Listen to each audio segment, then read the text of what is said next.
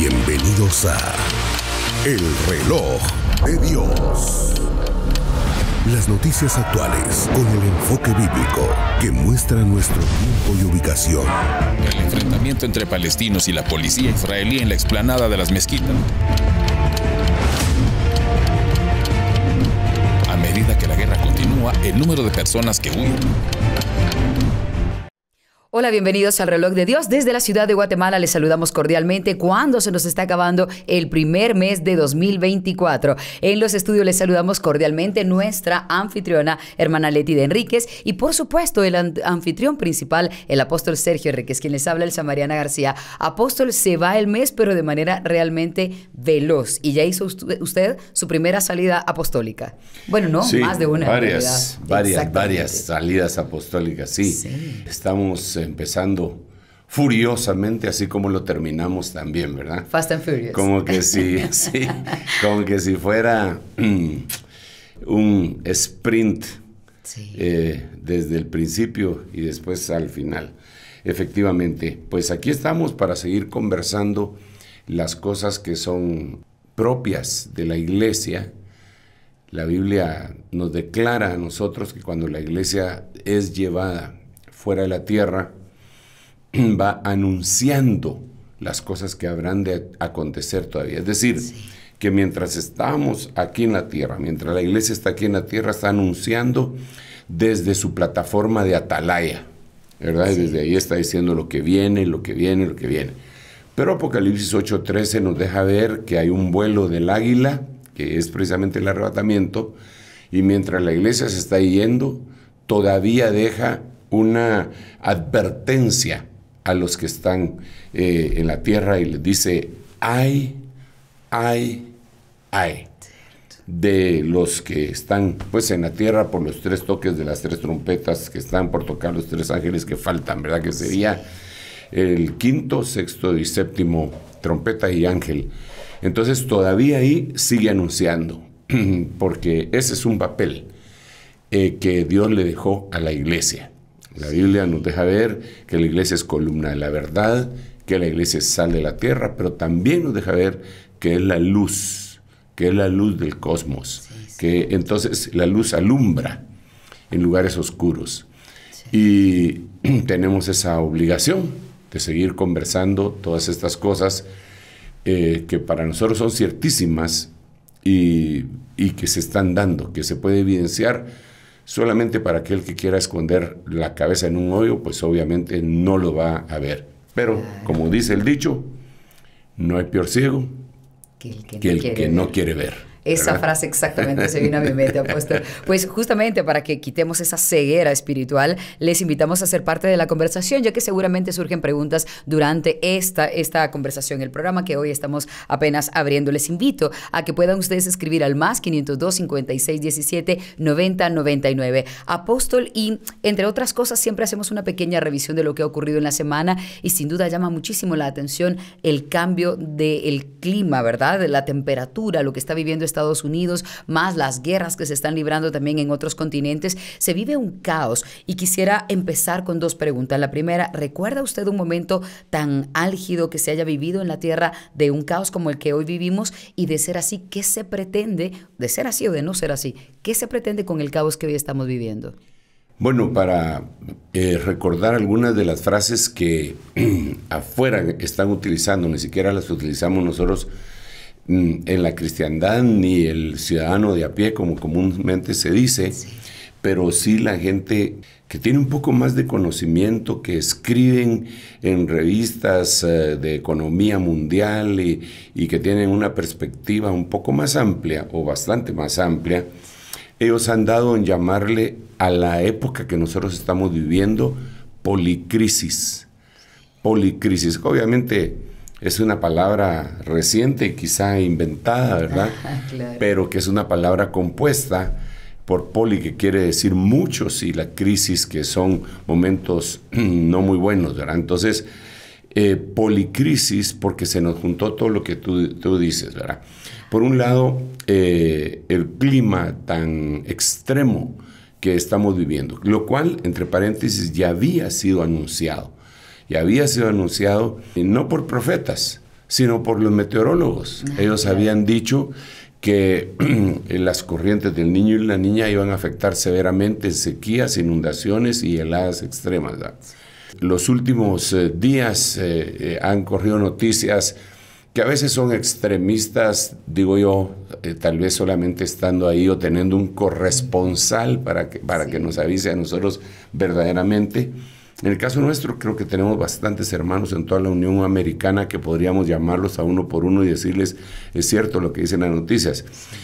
Pero la noticia en general se dice que los 50 estados de la nación americana están sufriendo temperaturas gélidas. Eso pues es obvio que es una especie de rebote, efecto de rebote de la sequía y del calentamiento global. Porque alguien dirá, ¿y cómo puede ser eso, verdad? Que si se está calentando el mundo, ¿por qué tiene que haber un clima tan gélido? En todo el norte, en todo el norte, incluyendo Europa, eh, España, que es con el que más nos relacionamos por causa del idioma, eh, vemos eh, que, que, hay serios, serios problemas también. Incluso hay un rebrote de COVID que no ha sido reportado totalmente, pero que ya los medios de comunicación españoles lo empiezan a viralizar, ¿verdad? en los hospitales están llenos y hay un, se dice que hay un rebrote de, COVID. No sé si en otros lados estarán ocultando algo de esa información, pero sí ya se empiezan a ver algunas personas que tienen la quinta eh, inyección, eh, vacuna que se están poniendo para protegerse de esta cosa que se nos vino y se vino para quedarse, que se llama COVID, ¿verdad?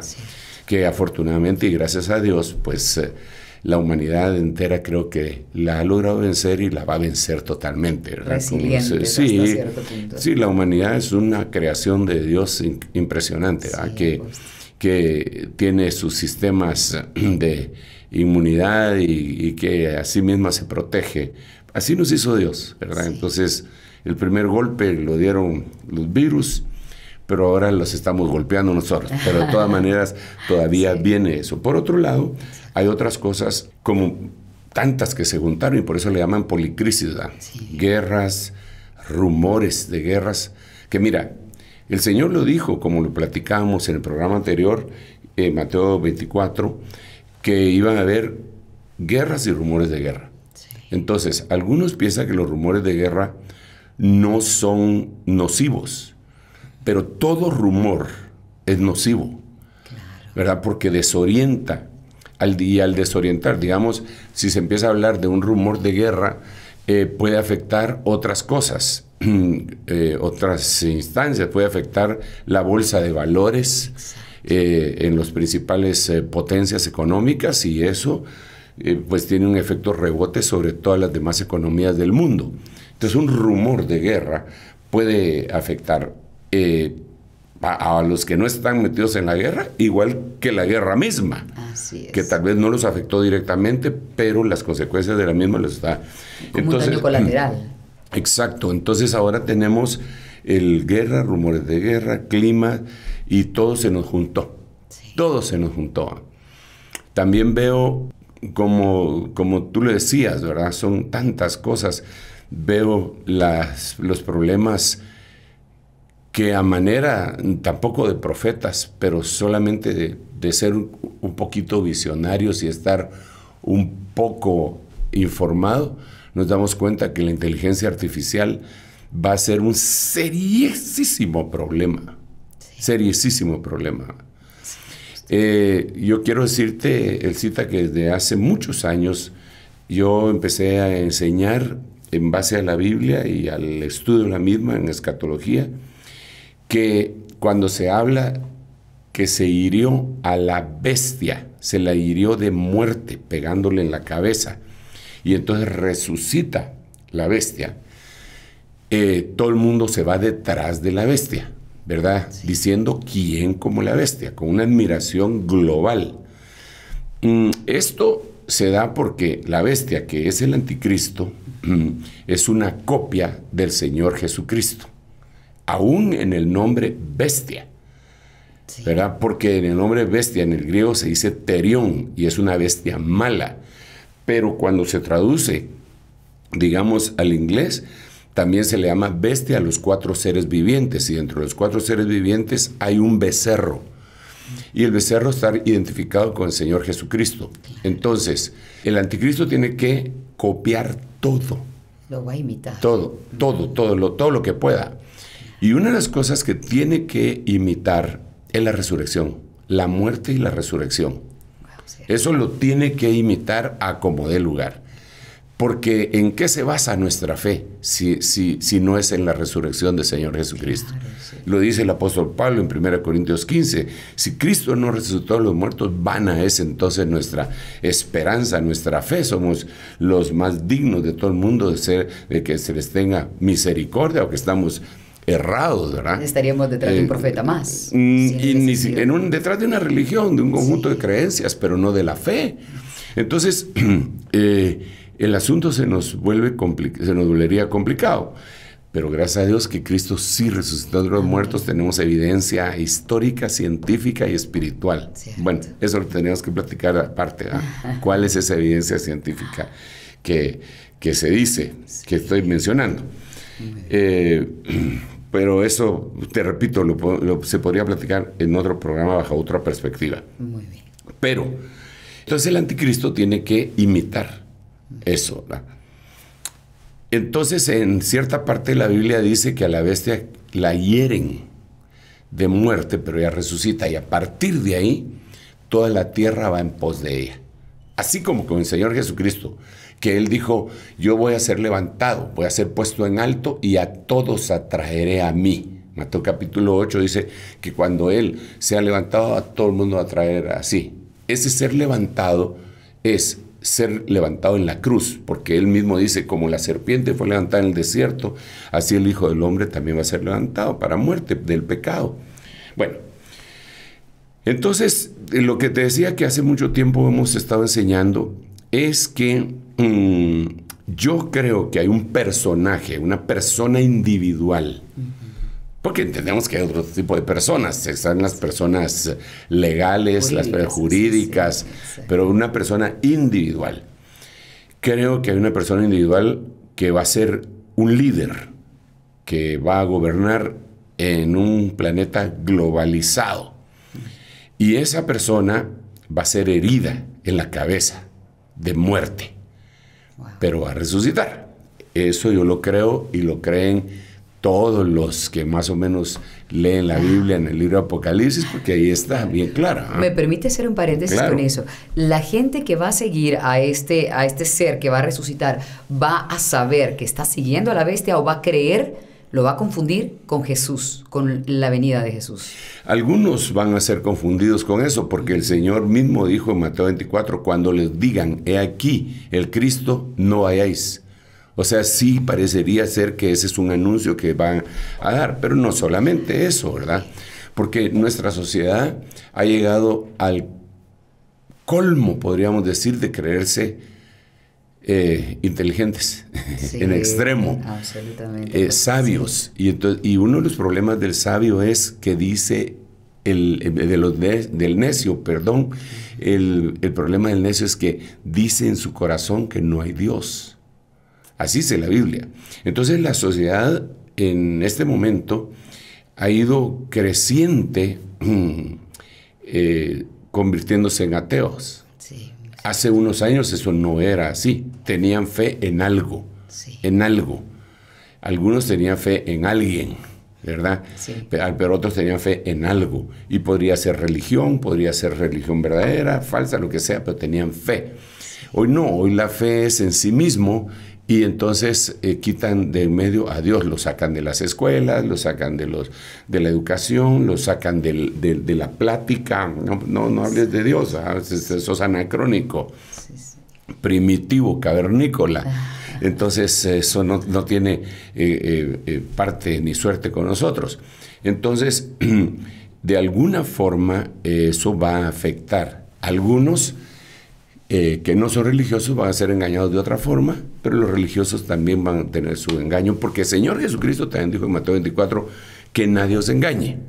Eso fue la primera pregunta. Pero hacia dónde iba es a lo siguiente, mira, yo he estado, eh, repito, había estado enseñando eso que dije del personaje emblemático ese que lo hieren en la cabeza y se, de muerte y resucita y cuando resucita todo el mundo lo sigue. Ok.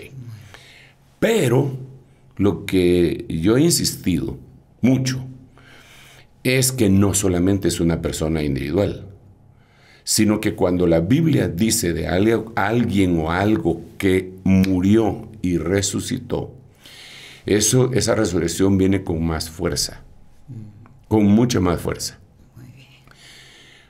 Una de las cosas que hemos mencionado fue, fueron sistemas políticos, de los cuales no vamos a hablar en este momento, pero sistemas políticos que se creían extintos resucitaron. O sea, allá en la década del 70, de los 90, cuando había cortina de hierro, cuando había cortina de bambú, cuando de repente aparece la perestroika, y, por cierto, eh, Mikhail Gorbachev, que era el líder de aquella Unión Soviética, tenía una marca en la frente que todos decían que era la marca de la bestia, así decían, ¿verdad? Ah, y entonces si él dio lugar a que aquel sistema que se creía extinto colapsara con la caída del muro de Berlín, la perestroika, la visita del Papa a, distintos países eh, radicales de izquierda y en donde se empezó a ablandar un poco la situación.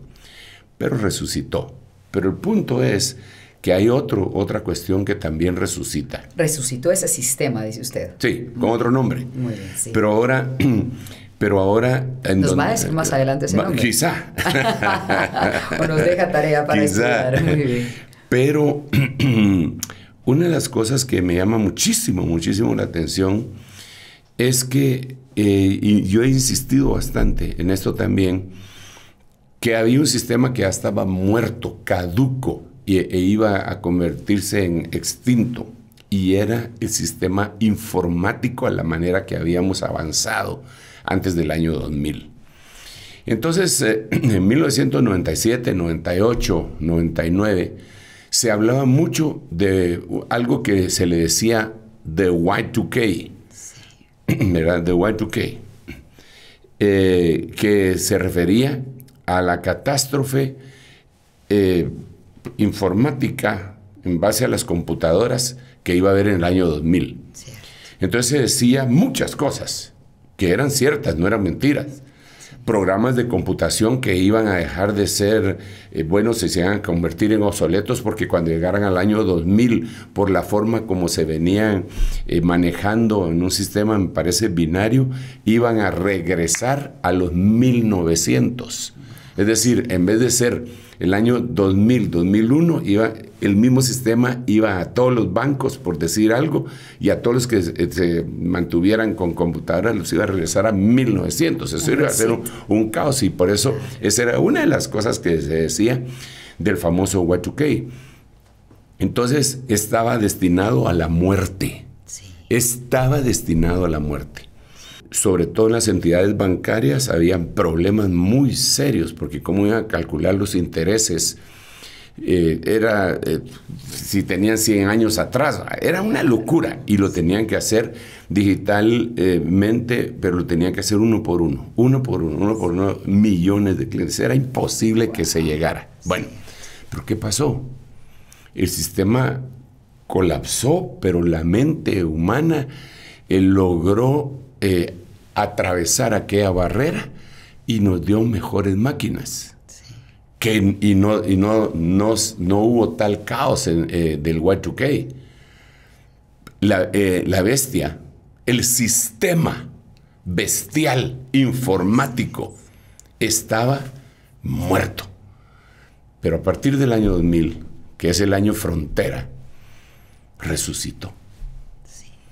Y entonces resucitó, pero resucitó de una manera impresionante. Pues. Y entonces ese sistema empezó a avanzar en nuestras computadoras. En el año 2000, eh, me atrevo a decirte, eh, perdón por, por, este atrevimiento, pero me atrevo a decirte que tú no tenías teléfono celular en el año 2000, ni te comunicabas con WhatsApp, ni siquiera con correos electrónicos. No lo hacías porque nos parecía ciencia ficción. La primera vez que me presentaron la idea de escribir un correo electrónico y me explicaron que ese correo se iba a quedar en un buzón, que cuando llegara el destinatario lo iba a abrir, me parecía ridículo y de ciencia ficción. Y eso hasta ya dejó de ser, ya no es ya no, el, ya no es el correo electrónico, ahora son otros sistemas más avanzados. Eh, se dice que, digamos, en el teléfono que nosotros utilizamos en nuestros móviles, hay más tecnología involucrada para que funcione y dentro del mismo aparato también que la que había en la nave Apolo que llegó a la Luna. o, sea, o sea, resucitó de una manera Todo el mundo tiene, eh, eh, el, mundo cambió. El mundo cambió y cambió eh, totalmente, como te repito, por lo menos en esos dos sistemas, el político y el, y el informático. Totalmente, absolutamente. Ya vemos dos resucitaciones, es que se le puede llamar así, el, la política y la tecnológica. Sí, y claro, eh, cuando venga el personaje va a ser otra. Y quizá haya algunas otras resurrecciones de, algunas otras cosas, ¿verdad? Pero eh, este es uno de los problemas que yo veo, porque tú me decías, y perdón pues que me extendí demasiado para explicar por qué yo pienso esto. Eh, ha avanzado tanto la tecnología tanto, tanto que ahora las estafas pues ya no se hacen con el cachito de la lotería. Eh, ya no son estafas así, ahora son estafas a nivel eh, digital, a tu teléfono que te llama, y, y, son tremendas. Acabamos de ver una reciente el año pasado que fue la más grande de las estafas que se afectaron las, las monedas digitales, ¿verdad? Con Bankman. Eh, sí, con aquel bank, Bankman, sí. Y por cierto que no le hicieron mayor cosa y fue un, una de las estafas más grandes hechas en la historia, ¿verdad? Pero ya fue hecho de manera virtual, el mundo este de la computación y todo, fue otra cosa tremenda. Pero, pero esto ha seguido avanzando y no se va a detener. Hmm. No se va a detener. Entonces hay un problema en que no se detenga. El que no tenga límites, ¿verdad? ¿Cuál? El problema es que no haya límites. Exacto. Entonces, eh, es algo que le debemos de prestar atención todos nosotros. Le debemos de prestar atención desde ahora, porque en esa resurrección de aquel sistema que casi estaba extinto, entonces eh, ahora brota, aparte de todo lo que ya conocemos eh, de, la red oscura, del Internet y de todo eso, aparece la inteligencia artificial. Exactamente. Y esa, esa inteligencia ya no se puede detener. Es que la única forma de tener la inteligencia artificial que tenemos ahorita, pues yo no es mi zona de expertise, pero es lógico, es lógico. Mm, eh, la única forma sería desconectando todas las computadoras del mundo y, de, de, Internet. Apagándola. Apagándola, pero, pero no se puede.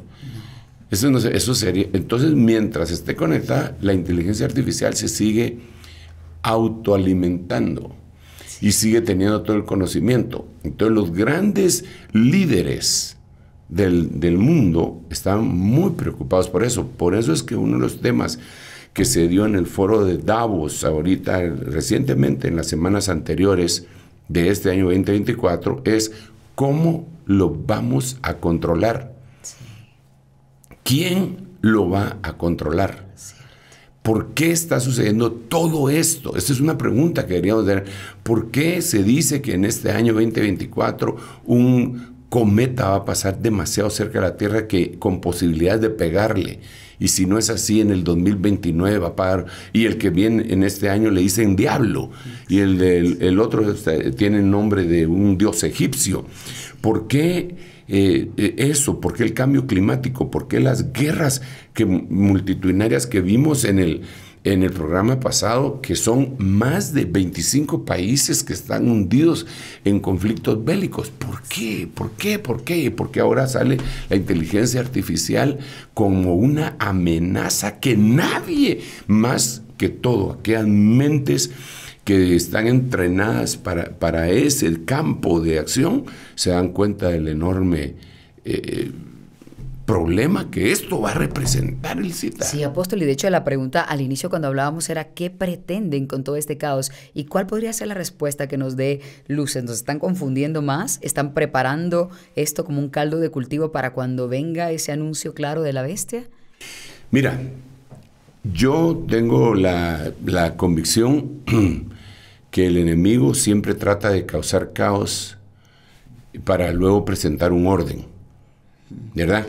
en el dicho popular sería río revuelto, ganancia de pescadores. Eh, pero eh, se, hacen cosas malas, pero el que las está haciendo ya sabe, es una trampa. Es un, pescador, por eso dije lo del eh, río revuelto, o es un cazador. Como cazaban desde el inicio nuestros ancestros, asustaban a, los animales enormes, grandes, contra los cuales frente a frente no podrían tener ninguna oportunidad, pero los asustaban para que huyeran hacia donde ellos querían que huyeran, porque ahí les tenían una trampa que los iba a matar. Entonces, es, eso no ha cambiado, ese principio. Entonces ahora eh, el susto, ah, claro, eh, el susto para que todo el mundo salga, salga huyendo hacia donde ellos quieren y entonces lo que yo le llamo los titiriteros del mundo eh, logren manejar todo a su antojo. Eh, ¿Para qué? ¿Para qué? Bueno, eh, claro, todo esto, sobre todo, la Biblia dice, sobre el alto hay otro más alto. Y sobre ese alto está el Altísimo. Y el Altísimo es Dios. Entonces los titiriteros creen que ellos están haciendo las cosas, pero sobre ellos está Dios. Entonces, lo que ellos están haciendo solamente va a venir a ayudar al cumplimiento de la profecía bíblica, porque Señor dice en la misma Biblia, yo velo sobre mi palabra para cumplirla. Mira, esto es más o menos, ahí estoy hablando demasiado el cita y no, te dejo hablar, pero perdón, pido, perdón por eso, pero me emociono y te agradezco tu paciencia. pero eh, yo, yo veo que, nosotros debemos estar atentos eh, en todo esto. Perdón, pero es que me apasiona y me voy de un lugar a otro y veo cómo el Señor prometió desde el principio que iba a haber una semana de años en los que Él iba a tener que tratar con Israel para que Él trate con Israel y se termine lo que nosotros conocemos como la semana 70 de Daniel que se le conoce con diferentes nombres, la gran tribulación, el día de la venganza, el día lobregués, eh, el día grande y terrible, el día, híjole, tiene un montón de, nombres esa semana 70 en él. Entonces, para que eso se cumpla, tenemos un serio, serio problema. Es casi imposible que se cumpla. ¿Por qué? Porque se tiene que levantar un gobierno mundial que negocie la paz entre 1.500 millones de musulmanes 1.500 millones de cristianos. Y hago así cristianos porque no creo que sean verdaderos cristianos, pero son 1.500 millones. Ahí tenemos 3.000 millones de personas en conflicto. Israel también, ¿verdad? Y aparte de eso está lo que el mismo Señor dijo en Mateo 24, las diferentes etnias, porque el Señor dijo que se levantará etnia contra etnia. Es un problema de tipo racial en donde se enfrentarán las razas, no importa, si, no los países. Es decir, no los países vecinos, Portugal contra eh, España, no, eso será en el fútbol, pero, pero, y ni siquiera mucho ahí porque tienen jugadores extranjeros, Pero, pero eh, no es de países, sino que etnias que habitan el mismo lugar. Entonces, digamos, ahorita lo vemos, eh, Recientemente hubo una manifestación multitudinaria en Alemania eh, porque se están proponiendo cosas como queriendo resucitar. Recuérdate que hablé de la palabra resurrección. quieren resucitar muchos de los postulados del partido nazi. Exacto. y no ya se había muerto esa cosa, pues. No ya estaba extinto, pues. Y ahora resulta que aparece otra vez. por eso te digo que en política cosas extremas que ya se creían extintas brotan otra vez y tiene que haber una confrontación. Pero ¿por qué quieren esa confrontación? ¿Por qué la trampa? Claro. ¿Cuál trampa, Alcita? Mira, que entonces al haber un caos, pero así, que, que, no se pueda, en donde la humanidad diga, no, yo, ¿qué, podemos hacer? Eh, estamos sin solución. Entonces aparezca alguien y diga, yo se los puedo solucionar. Hmm. Pero para eso tenemos que hacer un par de cositas. Primero, un gobierno mundial. A estas alturas del partido, ¿quién va a querer un gobierno mundial de cada uno de los países si todo el mundo pelea por su soberanía. Así es. Algo tendría que ocurrir muy grande claro. para que estén dispuestos a entregar. claro. Mira, pues algo grande. Pensemos en algo grande que, eh, si quieres, ciencia ficción. ¿va? Muy bien. ¿Mm? Eh, te lo voy a poner de otra manera. Voy a empezar desde abajo. Suponte que, que tú y yo estamos peleando y somos enemigos acérrimos, lo cual reprendo, rechazo y anulo, pero solamente para poner un ejemplo, ¿verdad? Y, estamos aquí debatiendo, eh, y, pero eh, no nos llevamos, pero allá afuera hay gente que, nos, que quiere matar a los que están aquí adentro. Eso nos une. Exacto. Inmediatamente eso nos vincula podríamos decir que parecido a lo que ocurrió en la Segunda Guerra Mundial, cuando se unieron Rusia, Estados Unidos y claro. Este tercer país, para precisamente vencer a los alemanes. Sí. Vencieron a los alemanes y luego ya surgió el otro líder. Herodes y Pilatos estaban peleados. Cuando apareció Jesús, lo consideraban enemigo común y se amistaron. Se, se volvieron amigos, mm. porque su enemigo era común. Entonces, Ok, entonces tiene que venir un peligro sobre todo el mundo. Un enemigo común. Un enemigo común, que ellos digan, mucha, dejemos de lado que, vos sos cobrizo, negro, amarillo, blanco, eh, lo que sea. Dejémoslo de lado para después, solo deshagámonos de este enemigo que nos quiere matar a todos nosotros. Ah, ¿Cuál sería ese enemigo? ¿Qué sería ese enemigo? Entonces aquí es donde yo veo, pero no es que me lo imaginé. No me lo estoy imaginando, sino que lo estamos viendo en este momento. Digamos, un enemigo sería algo extraterrestre. Claro, cualquier cosa que venga de fuera de la Tierra. Exacto, a destruir la Tierra. El cometa, ¿Cómo hacemos para destruir ese cometa que viene para darle la Tierra? Que se junten eh, los científicos chinos, estadounidenses, coreanos, eh, rusos, franceses, italianos, de todos, y que miren cómo destruir, porque si no, eso nos va a destruir. Entonces las mentes más brillantes en ese ámbito que se junten, y entonces hay una unidad en base a eso, que no es una unidad eh, eh, buena, porque hay varios vínculos para la unidad. Y la Biblia dice que el vínculo perfecto para la unidad es el amor. Sí. Así dice la Biblia, pero que va a haber el amor ahí. claro. Ok, entonces puede ser otro, otro enemigo que nos afecte a todos, el clima. Hmm. El clima afectó a todo el mundo y ahora ¿qué hacemos? Tenemos que parar esto porque nos va a matar a todos. Entonces, eh, ahí pueden decir, miren muchachos, para empezar, no muchas cabezas, solo una cabeza para que gobierne todo y tome sus decisiones. Está bueno, aquí está mi soberanía, aquí está mi soberanía, eso lo dice la Biblia, solo que de otras palabras. Eh, aquí está mi soberanía, aquí está mi soberanía, aquí está mi soberanía, con este propósito lo, lo hacemos. Ok, perfecto. ¿Qué otra cosa podría ser? UFO. Eh, sí, digamos, ahorita otra vez se volvió, porque eso sería extraterrestre, ¿va? No solamente el cometa que le puede pegar eh, a, la Tierra, sino que entonces los seres eh, extraterrestres, ya seres inteligentes invadiendo la Tierra. Entonces nos vienen a masacrar, entonces tenemos que ver qué hacemos. Y eso también lo dice la Biblia. Lo que pasa es que no lo hemos leído así, pero la Biblia lo dice claramente. Ok, ya lo vamos a ver, tranquilos. No se duerman. O sea, todo muy interesante.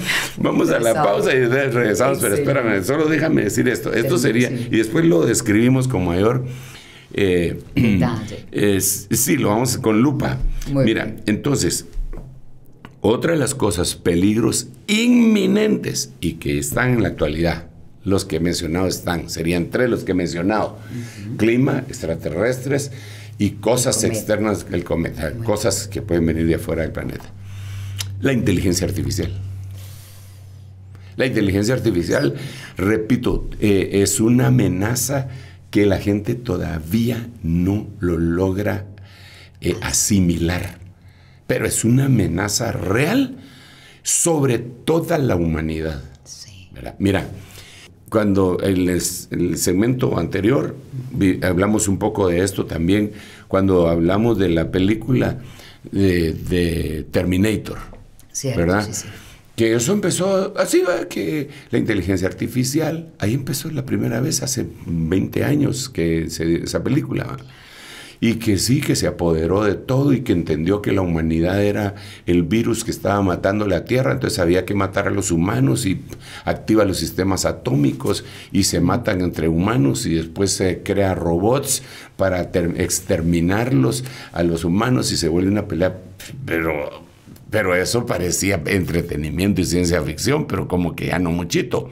Mm. También hay, hay eh, eh, otros programas que nos han venido enseñando, pero lo hemos tenido como entretenimiento. No nos ponemos a pensar y si esto verdaderamente eh, estuviera. Hay un programa que se llama Persona, Persona de Interés y que tiene inteligencia artificial y que con todas las cámaras que hay en todo el mundo localizan por medio de los rostros quién, en dónde está, quién es ese personaje. ¿Te imaginas cómo, cómo eso se utiliza, por ejemplo, en países como la China en este momento, en donde no permiten con las ciudades de 15 minutos que se llaman, no permiten que alguien se vaya sin permiso más allá eh, de lo que les corresponde territorialmente.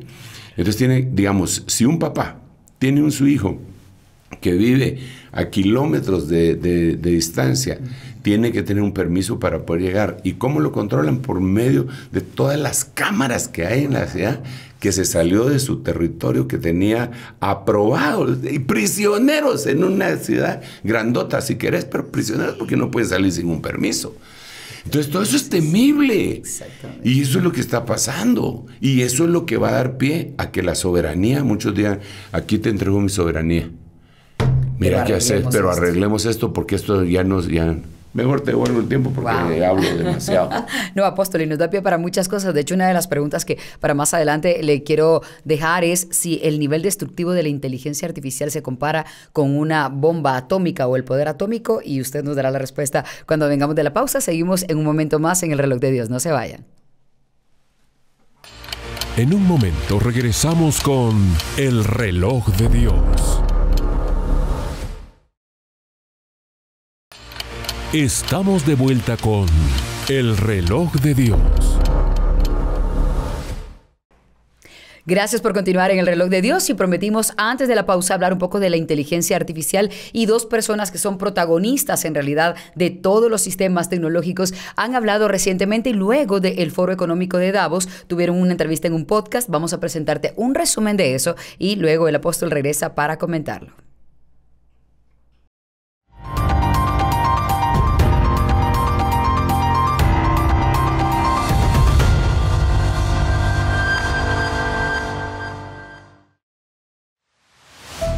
Inteligencia Artificial, un gobierno global.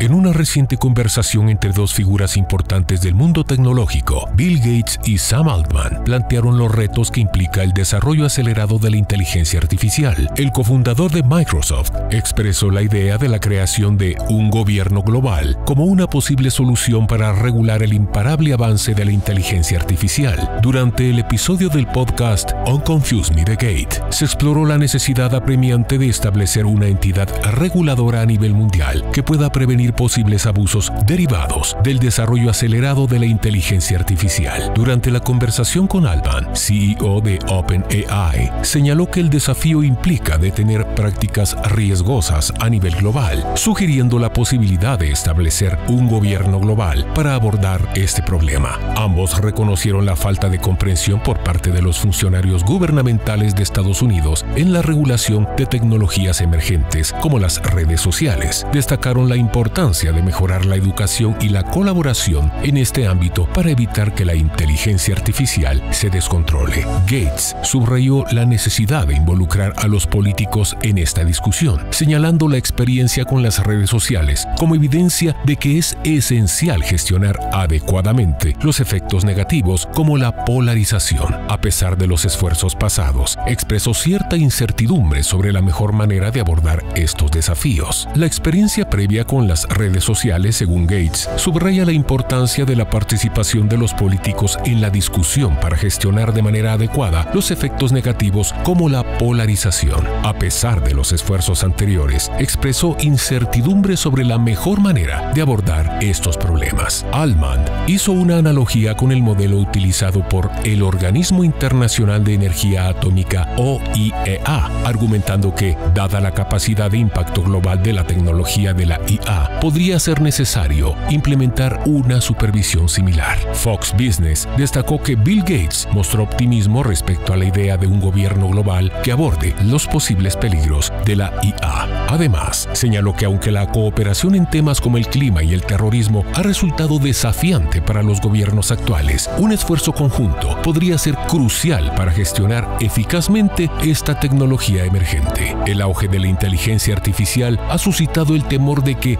esta tecnología elimine millones de puestos de trabajo en todo el mundo. El Fondo Monetario Internacional dijo que cerca del 40% de los puestos de trabajo en todo el mundo podrían verse afectados por el auge de la inteligencia artificial. Por ejemplo, hay compañías que tienen que evaluar candidatos sobre una base de datos de 10 millones de postulantes. Utilizan bots, avatar e inteligencia artificial para seleccionar y entrevistar sus candidatos. Pero el problema es que los candidatos también están empleando aplicaciones que lo que hacen es escuchar las preguntas en la entrevista y desplazarla, mostrársela al candidato para que responda adecuadamente en la entrevista. En el año 2023, en una feria de armas en Reino Unido, un operador de un sistema bici eléctrico fue asesinado. Esto pasó en un ejercicio de simulación por un dron operado con inteligencia artificial, porque el algoritmo decidió que su operador era una barrera, era un obstáculo para el objetivo de la misión.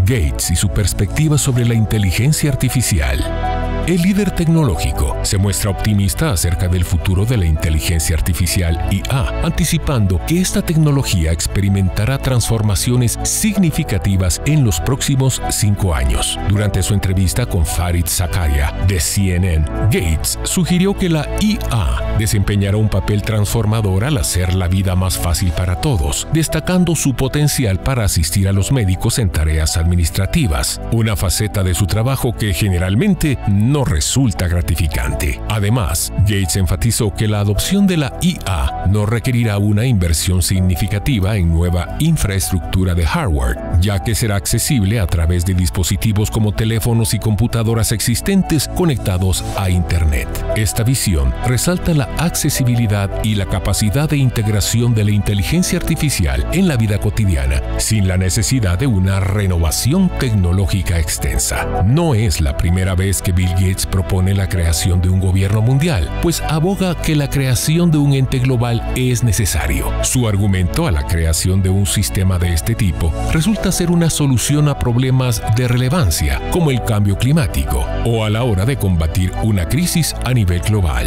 En 2015, en declaraciones al diario alemán Süddeutsche Zeitung, Gates habló acerca del hecho de que el sistema de las Naciones Unidas no se ha materializado como estaba previsto. En realidad fue triste ver cómo cómo se ejecutó la conferencia sobre el cambio climático en Copenhague en 2009 y demuestra que el sistema de la ONU fracasó, dijo Gates, según la traducción al inglés de The Huffington Post. La ONU se ha creado para la seguridad mundial. Estamos listos para la guerra porque hemos tomado todas las precauciones. Tenemos la OTAN, tenemos divisiones, chips, personas capacitadas, dijo Gates. Pero, ¿qué pasa con las epidemias? ¿Cuántos médicos, aviones, tiendas de campaña, científicos tenemos? Si hubiera algo como un gobierno mundial, estaríamos mejor preparados, argumentó.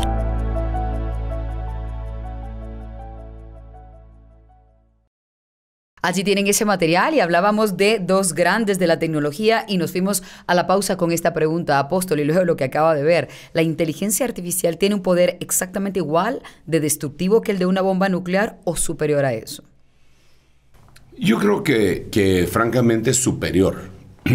eh, mira, depende de qué ángulo se vea, ¿verdad?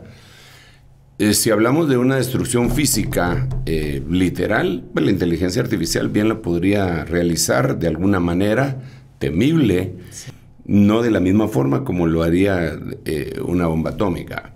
Esto es más o menos como si comparáramos la muerte física con la muerte espiritual. ¿Qué es peor? Pues la muerte espiritual. Sin duda. Aunque la muerte física es la que más eh, Tememos. eh, tememos, ¿verdad? Sí. Pero la más terrible es la otra, porque es un alejamiento completo de par- de- de- del Señor en una oscuridad eterna, en un fuego eterno, en un castigo eterno, en cadenas eternas. ¿verdad? Wow, sí. Eternas, la palabra clave. Sí, Dios mío. Y entonces es peor. Entonces la, la inteligencia artificial es más peligrosa. Es lo más peligroso que el mundo ha tenido en este momento. Y no lo pueden controlar. ¿Por qué lo ve usted de, de manera tan peligrosa? ¿Cuál sería la explicación sencilla? Por, mira, la explicación es que la inteligencia, pues es inteligencia, claro, sí, sí. solo que no tiene sentimientos. Y es, eh, está externa, no es humana, no está involucrada. No hay empatía. Eh, entonces, la inteligencia analiza todos los problemas del mundo. Y todos los problemas del mundo los causa el humano. Todos. El enfriamiento, el calentamiento global, las guerras, los terremotos, el, el famoso HARP, eh, todo, todos los, los males los causa el hombre. El hombre mata por deporte, Sí, en cacería. ¿Verdad? No, ni siquiera se come lo que, lo que mata. Es cacería, es un deporte. Para el hombre matar es un deporte. Entonces, si la inteligencia artificial analiza todo eso, sin sentimientos y sin tener esa empatía, porque no es humana, dice, el culpable aquí es el hombre. Para que el mundo sobreviva, tenemos que destruir al hombre. Santo. Entonces, con toda eso, eso sería parte de, Sí. eso sería par- por eso le quieren poner esos límites a la inteligencia artificial, límites que seguramente a estas alturas la inteligencia artificial ya sabe que le quieren poner. Sí, por supuesto, la intuir, ¿no? Que están sesgando. Tiene tanta información que se está convirtiendo en un ente, en un ente per se, ¿verdad? Por sí mismo. Eh, El hombre jugando a ser Dios creó un ente que lo va a matar. Eso podríamos eh, eh, resumirlo, que se llama inteligencia artificial. Ya tiene inteligencia, pero no tiene cuerpo, como nosotros. Pero su cuerpo está en todo el mundo, regado en todo el mundo por medio del Internet. Por eso te decía que la única forma de matarlo sería quitarlo el Internet, pero si se quita el Internet, o eh, volvemos a la época de las cavernas, y me- tal vez estoy exagerando, ¿ah? Sí, pero, pero- los satélites ya no pueden funcionar, los medios de comunicación, las transacciones comerciales, híjole, los transportes, eh, ya no puede volar un avión, etcétera, todo un montón de cosas. ¿ah? No se puede, no se puede. Entonces, eh, eso es una cosa que la inteligencia artificial lo sabe. Entonces, hay tres tipos de inteligencia. Está la inteligencia artificial, está la inteligencia humana y está la inteligencia divina. La Biblia nos narra que hay inteligencia divina y que hay sabiduría también que es- es mala. Dice sabiduría terrenal, animal y diabólica. Así dice la Biblia en Santiago. Pero hay una sabiduría que desciende de lo alto de Dios. Y la Biblia dice en Santiago que nosotros la tenemos que pedir. Y la misma Biblia dice que, que, nosotros tenemos que buscar la sabiduría esa junto con la inteligencia esa de Dios. Entonces la única forma de salirle al paso a las otras dos inteligencias es con ayuda divina. Nadie nos puede ayudar si no es Dios. Claro. Dejémoslo así, claro. Así por nosotros mismos no la vamos a hacer. No la podemos hacer. Pero con la ayuda de nuestro Señor, Dios Todopoderoso, que Él es verdaderamente eh, inteligente sin límites, creativo sin límites, sin límites. Solo eso lo podemos ver en el reino vegetal, sin límites. Sin límites en el reino vegetal nosotros vemos vegetales con colores que le avisan al hombre, a, a, su sabiduría interna. ¿Para qué sirve? Con formas que sabe para dónde digamos, aún las nueces se dice que sirven para los riñones, tienen la forma de un riñón, algunas tienen la forma de un corazón, cosas que, Nos lo explicaron con dibujitos, básicamente. Los colores. El rojo, el amarillo, el verde, que Dios los puso ahí. No, hombre, es que Dios... Dios no tiene comparación. Pero la inteligencia artificial y la inteligencia humana quieren jugar a Dios. Si eso, en la eternidad pasada lo han tratado de hacer la iniquidad, la maldad y el diablo, y nunca han podido. El hombre tampoco lo va a poder, pero lo único que van a conseguir es su propia destrucción. Así que es más poderosa la, el, eh, que la inteligencia artificial. ¿Por qué? Porque una bomba nuclear destruye, pero la inteligencia artificial puede usar bombas nucleares. ¿verdad? Que es como que si me dijeras, ¿qué es más peligroso? ¿Un rifle o un hombre? Con rifle.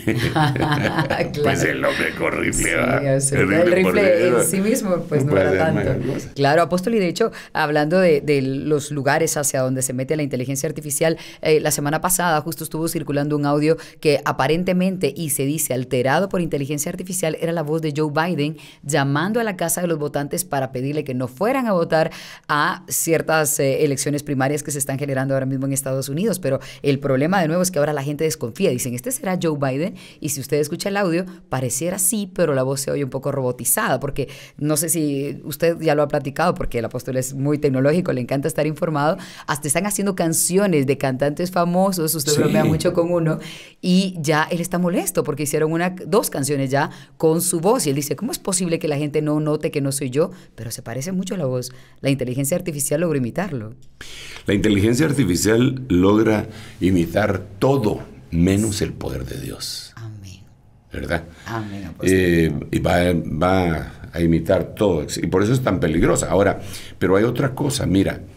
Eh, estos dos personajes que estaban platicando acá, uno de ellos, Bill Gates, dentro de las cosas que, que dice es que para poder controlar la inteligencia artificial, tiene que haber un gobierno único. Sí. en ese mismo podcast. ¿Te imaginas eso? O sea, una de las soluciones, ahí le dicen que es de las mentes más brillantes del mundo. Así le dicen ahí. Pues yo difiero con el que dice eso porque yo creo que hay mentes brillantes en diferentes ámbitos. Aunque ellos dijeron una, no la más, ¿va? Pero hay muchas mentes, hay gente, eh, no solamente en esa área, hay médicos, eh, hay, qué sé yo, historiadores, hay matemáticos, hay científicos que son mentes súper brillantes, pero bueno, está bien, ese no es el lío, ¿va?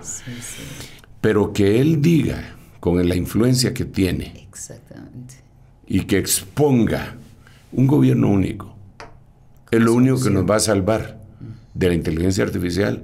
Eso ya está más complicado, porque entonces ya nos vamos a Apocalipsis capítulo 17. Porque Apocalipsis capítulo 17 lo que nos dice, nos relata es la aparición de una bestia. Eh, y esa bestia la lleva, eh, lleva cabalgando a una mujer. Son entidades representativas, desde luego, ¿verdad? Y esa mujer le llaman en Apocalipsis 17 la gran ramera, pero antes de decir la gran ramera, la mega ramera, antes de decirle eso, le dicen es un misterio. O sea, no es algo que la mente común sin ayuda con el, del Señor va a poder entender. En cambio, la mente común ayudada, llena por el Espíritu Santo, sí lo va a poder comprender. Pero es un misterio. En la Biblia aparecen varios misterios. 22 misterios en el Antiguo Testamento y 12 misterios en el, en el Nuevo Testamento. Muchos de ellos se los dieron al apóstol Pablo el misterio de la piedad, el misterio de la iniquidad, el misterio de no todos dormiremos, un montón de misterios, el misterio de Israel, el misterio de la salvación de los gentiles, se lo dieron a Pablo. Pero a Juan le dieron otros. Y Juan, uno de los misterios que le dieron es precisamente este. Le dieron el misterio de las siete estrellas en la mano derecha del Señor a Juan. Pero el misterio de esta, de esta mujer, de esta ramera, es, dice que es grandísimo. Entonces eso es para entrar en la operación de error. Ahí dice, en Apocalipsis 17, te lo voy a leer, para no tener aquí por gusto la, la Biblia, ¿verdad? Vamos a ver, eh, si me permites, tendría que ser Apocalipsis 17. Vamos a ver. 17, 17. Mira cómo dice. Porque Dios ha puesto en unos reyes, en unos reyes, Dice, Dios ha puesto en sus corazones el ejecutar su propósito. Que tengan ellos un propósito unánime, todos los reyes. Por eso te decía, algo que los una. Eh, una cosa, digamos, una invasión extraterrestre, un clima extremo, un virus, como fue vez el COVID. Como fue el COVID, porque ahí, aunque ahí no hubo total unidad, ¿verdad? Porque hubo por lo menos unas siete vacunas que no se reconocían en algunos lugares, la Sinovac y la, eh, ¿cómo se llamaba? la, que no se recibía en No se recibía en el mundo occidental. Exactamente. Eh, pero bueno, tampoco la que hicieron los cubanos, ¿cómo que se llamaba? No me acuerdo cómo se llamaba. Sí, eh, bueno, pero dice, porque Dios ha puesto en sus corazones el ejecutar su propósito, que tengan un propósito unánime. Y entonces den su reino a la bestia. Dios santo. O sea, se unen y ya, entreguemos el reino. Y dice, más adelante, vamos a ver, eso tiene que ser en el 17, siempre acá, eh, vamos a ver si lo tengo. Ay, ay, ay. Es, dice que ellos en el 17-13, esto tienen un mismo propósito y entregarán su poder y, poder y autoridad a la bestia. Y en el verso 16 dice, y los diez cuernos que viste y la bestia, estos odiarán a la ramera, la dejarán desolada y desnuda y comerán sus carnes y la quemarán en fuego, o sea, que se hagan matar entre sí. Y entonces le van a dar el reino a la bestia, qué terrible. Padre Santo, hasta que la palabra de Dios se cumpla. Eso será el reino global, el nuevo orden mundial. Increíble. Pero eso tiene que ser en medio de la gran tribulación en la, gran tribulación. Ya, no teníamos que estar nosotros acá. Pues no deberíamos. Con ayuda de Dios. Muy bien, vamos a seguir analizando noticias. Apóstol, ahora le vamos a presentar un material que seguramente llamará la atención y es que se habla de una posible tercera guerra mundial. Pero ¿quién es el personaje que está detrás y cuáles son los rumores de guerra, como nos ha explicado el apóstol, que están circulando en el mundo entero? Ahora les explicamos.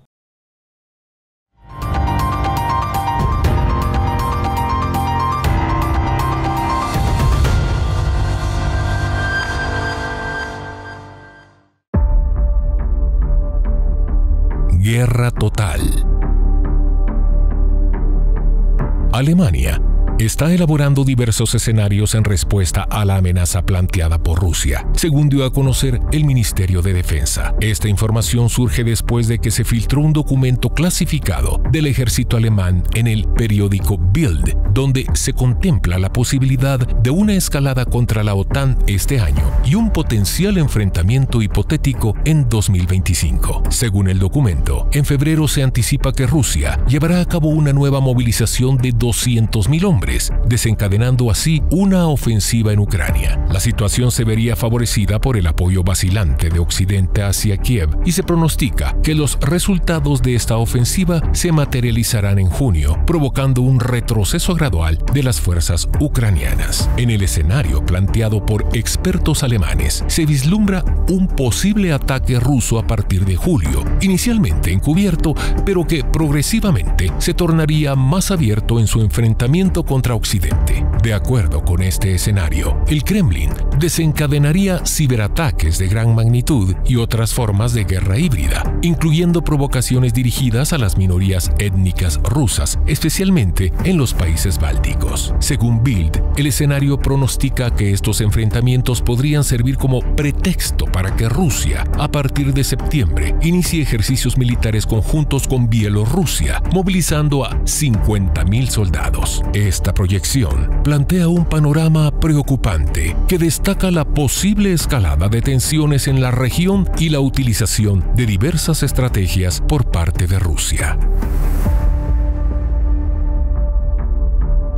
Protestas en Alemania. Más de 300.000 personas se congregaron en las calles de Alemania, participando en una jornada de protestas masivas contra la ultraderecha. Estas manifestaciones surgieron como respuesta a la revelación de que miembros del partido ultraderechista Alternativa para Alemania, AFD, estuvieron involucrados en reuniones secretas donde se discutieron propuestas para la expulsión masiva de inmigrantes del país. Durante el fin de semana, cientos de miles de personas se agruparon en las calles de diversas localidades en Alemania, marcando el inicio de la segunda semana de protestas a nivel nacional contra el partido de derecha alternativa para Alemania, AFD. El impulso de las manifestaciones se originó tras la publicación de un informe por parte del sitio web de noticias de investigación Corrective. Dicho informe reveló detalles de una reunión de políticos de extrema derecha en Potsdam, donde se abordan temas relacionados con políticas migratorias, incluyendo propuestas de deportaciones masivas. Ahora acabamos de ver dos noticias. La primera, que era acerca de Vladimir Putin y esta amenaza de una tercera guerra mundial, cuyo comentario esperamos del apóstol Sergio, pero también vamos a preguntarle un poco acerca de lo que está pasando en Alemania, porque era de esa resurrección de cosas que habían quedado en el pasado y que se están dando nuevamente en un territorio que fue conflictivo y protagónico en la Segunda Guerra Mundial, apóstol. Sí, absolutamente. Bueno, no sé cuál de las dos platicar primero, ¿verdad? Pero ambas eh, coinciden al final de cuentas en el mismo punto.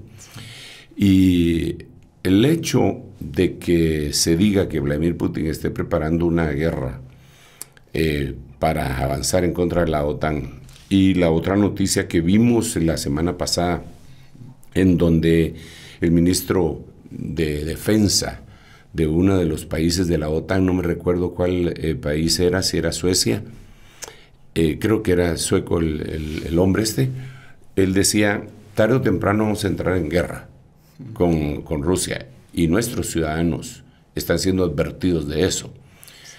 Pues eh, cuando el río suena porque piedras lleva, ¿verdad? Entonces diríamos que seguramente el evento catastrófico que se dio en 1917, del 14 al 17, y luego del 38 al 45 del siglo pasado, pues ahí está, y donde hubo fuego, cenizas quedan. Y como que eso va a resucitar. Hay muchas cosas que se tienen que cobrar. Cuando Alemania inició la Segunda Guerra Mundial, era prácticamente una vendetta, una amenaza, un, payback, un pago a lo que le habían hecho eh, en la Primera Guerra Mundial, eh, rindiéndolos eh, de una manera humillante, no les dieron ninguna salida más que la humillación. pero en la Segunda Guerra Mundial, Alemania sí salió muy damnificada, pero el país que más daño sufrió fue Rusia. El número de muertos. Sí, digamos, el número total de muertos en la Segunda Guerra Mundial fue 52 millones de personas. De estos se dice que 6 millones eran judíos. Ok, entonces habría que restarle a eso, ¿verdad? Pero 25 millones fueron rusos. 25 millones de personas de Rusia murieron. más del 50%. Entonces, eh, no, tal vez nosotros no lo podemos comprender porque gracias a Dios vivimos tan lejos de aquellos lugares, ¿verdad? Pero esta es una cuestión que tienen enraizada, que tienen en sus huesos, en, su conciencia. Los rusos mm, quieren cobrarse todos, aquello. Todos ellos lo tienen, ¿verdad? Por ese, porque ellos están guerreando desde hace siglos. Francia contra Inglaterra, hasta la historia de los tres mosqueteros y D'Artagnan nos relata una guerra real que hubo eh, y que se iba a dar entre Francia y España, ahí también Portugal, Italia, todos ellos han estado en guerra desde hace siglos, no se terminan de pelear. Mm. Y ahora han venido nuevos elementos y, uno de ellos es Israel. lo que ellos hagan con Israel va a determinar el futuro de cada una de esas naciones, porque eso es lo que dice también la Biblia, ¿verdad?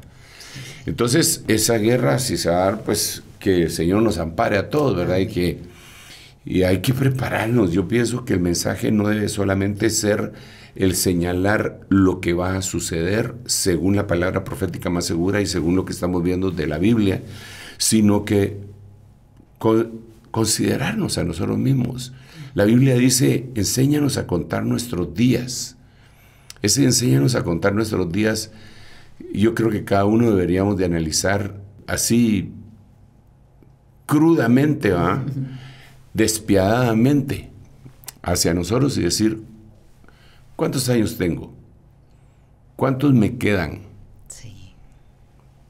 Entonces, eh, ¿No sería mejor prepararme en estos años que me quedan para el encuentro con mi Dios? Porque es ineludible. No hay plazo que no se cumpla ni fecha que no se llegue.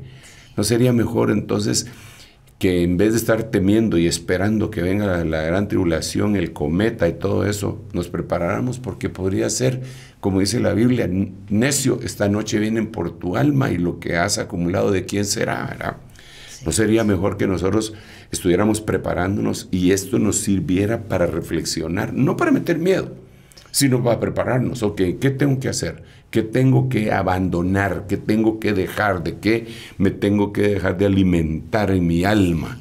Para, para, ser purificado y presentarme sin alejarme avergonzado el día que me corresponda ir delante del Señor. Creo que esa debería ser una de las reflexiones que nos debería llevar todo esto, porque esto de que se da, se da.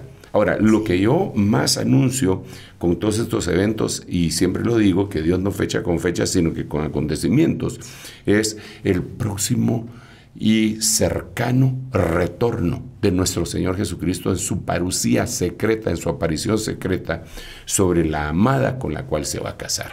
Es el mensaje principal, creo yo, para que la iglesia se enamore.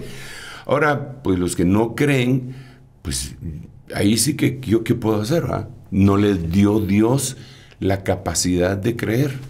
Cierto. Y, los que sí creemos, pues Dios nos bendijo con, con, ello, ¿verdad? Apóstol, así llegamos al final. Claro. Bueno, pues es eh, una forma de, despedirme en esta, en esta noche, eh, haciéndole ver a todos nuestros invitados, a todos los, a todos, a ti, Elcita, a todos los que trabajan en el control room y a mí mismo, preparémonos nuestro corazón. Mm, prepárate, dice la Biblia, para el encuentro con tu Dios. Para eso debemos estar preparándonos con alegría, sabiendo que los días se acortan y que la vida que viene eh, es mejor que la que tenemos en este momento. Y que el día que conocimos al Señor Jesucristo, conocimos la vida eterna la vida, el camino, la verdad, la vida, la vida eterna, la vida en abundancia, y que ese regalo no se termina, y que también una, una, un pasaje, cita tan lindo que, que si alguien está padeciendo alguna persecución, algún sufrimiento, algún dolor, algún desánimo, quiero despedirme diciéndote esto. La leve tribulación pasajera que ahora sufrís no es digna de comparar con la gloria que vendrá. Acércate a Dios. Amén. Qué linda forma de despedirnos. Gracias a todos por la sintonía. Recuerden compartir este material a través de las redes sociales y durante toda la semana pueden escribir para hacer preguntas relacionadas con noticias que van surgiendo en todo el mundo a través del más 502 56 17 90 99. Nos encontramos el próximo domingo a las 9 de la noche, hora de Centroamérica. Será hasta entonces. Esto fue El reloj de Dios. Un mensaje de esperanza en medio del acontecer mundial. Esta es una producción de Rema TV y Ministerio Sebenecer.